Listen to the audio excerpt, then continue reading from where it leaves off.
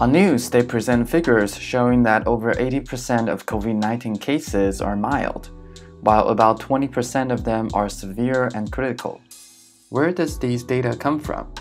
This one minute journal will present you the viewpoint article supporting these figures. The article was published on the Journal of American Medical Association on the 24th February 2020 in which Dr. Wu and Dr. McGoogan assessed 44,415 confirmed cases in China. They found 81% of them have non pneumonia or mild pneumonia. These patients are categorized as mild. 14% of the total patients develop dyspnea, which means they have difficulties in breathing, among other symptoms. These patients are categorized as severe.